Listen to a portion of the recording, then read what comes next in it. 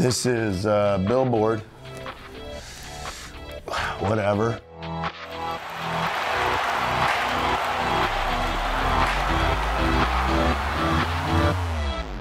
Turn up. Welcome to Chart Center. It's Tetris. And I'm Christina. Tetris, I think we need to live on set 24 7. I'm down with that. It's bigger than my apartment. Well, because every time we leave, our correspondent Shira comes in and things get really strange. Unbreak my heart. Say you love me again. We are taking Hollywood by storm. We I know. are a hip this hop is, power this is couple. real Hollywood right here. Donnie Billboard himself is rolling over in his grave. Donnie Billboard. Only I we had Donnie built Billboard. this company with my bare hands.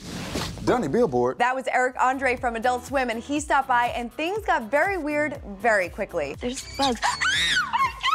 We'll show you more later, but first, let's dig into this week's charts with Inside the Numbers presented by StubHub. I can't wait to show you my toys. Suicide Squad soundtrack is a winner this week on the Billboard 200, debuting at number one. That makes it the first chart-topping soundtrack in a year since Disney Channel's Descendants kicked off at number one last August. They're bad guys. How can you say that? I'm just unique. And the last number one theatrical film soundtrack was Pitch Perfect 2, which debuted at the top in May 2015. And I eat krauts like you for lunch. And since there's nothing the internet loves more than a good DC versus Marvel showdown, Dance off, bro. Me and you. That's a good idea, honey. let's go way, way back to 2014 when the soundtrack to Marvel and Disney's Guardians of the Galaxy blasted off at number three. Harley Quinn and company smacked down that debut, We're bad guys. It's what we do. but Guardians rose to number one and held the spot for two weeks.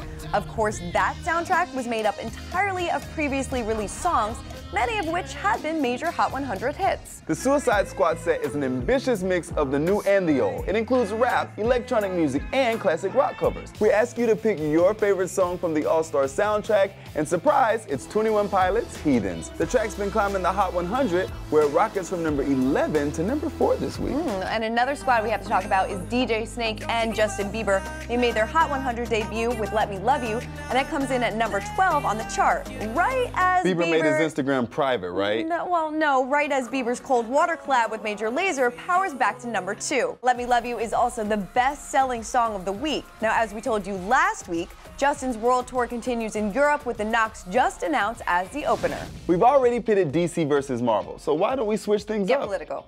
Maybe we should, Republican versus Democrat. This week we ask you who should perform at the inauguration for either Hillary Clinton or Donald Trump. For Clinton, DNC performer Katy Perry barely edged out Lady Gaga, with Demi Lovato coming in third. Now, Trump's prospective celebration looks a little different, with Azealia Banks coming out on top over Kid Rock and Loretta Lynn. Well, we're talking about who should perform at inauguration, but I think their campaign trail soundtrack could use a little shaking Yeah, up. and I think to help them out, they should really call Eric Andre. You know what? You might be Mm-hmm. right. Eric Andre, who just kicked off season four of the Eric Andre Show on Adult Swim, Hey everyone, welcome to season four. Eric and our correspondent Shira Carson spent some quality time together talking conventions, music, making guests uncomfortable, and more. Overall, things got weird really fast. Hey, what's up, guys? I'm Shira Carson, sitting here with Eric Andre from the Eric Andre Show. Hey, Hey, what's up, Bay? what's up, Boo? What's up, Bo Bo? How do you get your own show to be named after yourself? That's probably the easiest part of the show. I'm gonna be honest with you. I don't know if it is. That wasn't the battle. That wasn't the hurdle getting my stupid show on the air. Yeah, I guess that isn't a very creative name, right? It's just your name. It's not a creative show, and no one should watch it. watch Fuller House on Netflix. I have no idea what I'm doing. Mm. You're sassy. Yeah, I am. You got a little sass. Check the toot at the door. I'm not going to. You need an AA, not the battery, an attitude adjustment. All right, tell me about your show, the one that's named after yourself, that's not very creative. It is like Charlie Rose, bare bones. You know, I actually think it's a little more like Meet the Press, honestly. It's like Meet the Press, Charlie Rose, Yeah. To Catch a Predator, Cops. So, how do you choose the guests that you have? We try to pick the person that we would think knows the least information about the show. And then what happens when they realize that they're basically getting punked? It's case by case, it depends on the guest. T.I., for example, Yeah. was really happy. I mean, he wasn't thrilled. High five. Hey, I'd be damned. He wasn't as bad as Lauren Conrad. Nope. I'm not out to give anybody a hard time. except for me. Let's talk about the RNC. So you almost got murdered, right? I wouldn't say I almost got murdered, but I was afraid for my safety. I'm trying to get on stage. I'm trying to get on stage. Speaking of the RNC, do you have any advice for Donald Trump? You know those Halloween sound effects CDs that your mom plays while kids are trick or treating? Yes. If you played that over an entire speech, I think that would really affect the mood. Could you give me an example? Ooh.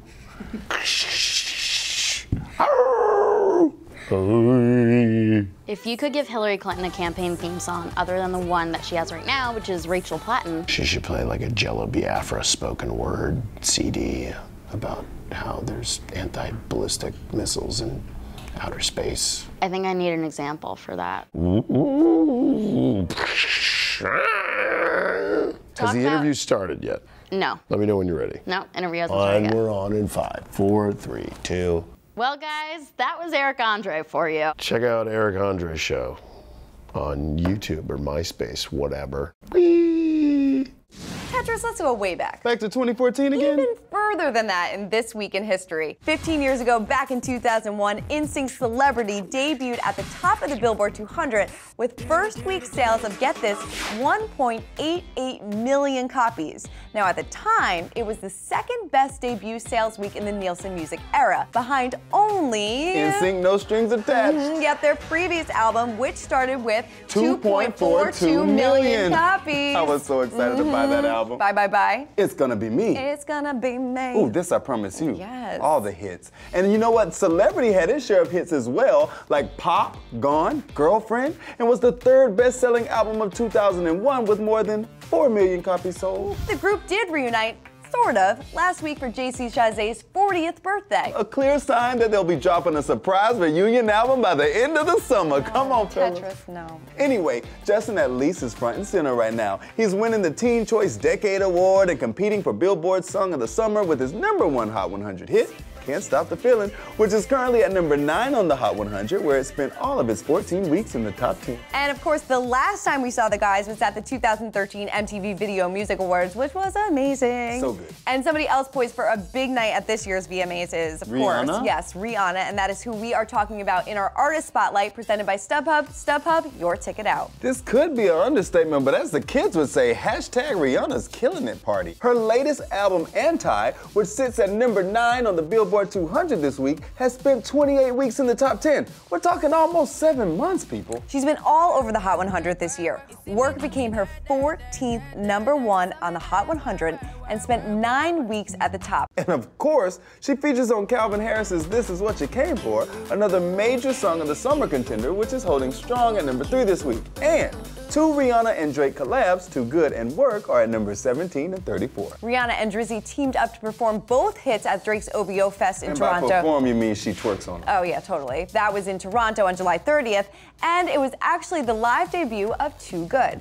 The duo has also shared the stage on several dates during Rihanna's anti world tour, which doesn't wrap up until November in Abu Dhabi. But Riri isn't just in demand for live shows. She's been cast in the all-female Ocean's 11 spinoff, this time called Ocean's Ocho. She joins Sandra Bullock, Cate Blanchett, Anne Hathaway, Helena Bonham Carter, Mindy Kaling, and Awkwafina. Of course, that's Siete, not Ocho. I'm waiting for the call. This town, your luck can change just that quickly. Not content to just rule music and movies, Rihanna's also making a TV splash in the final season of Bates Motel, where she's been cast as Marion Crane.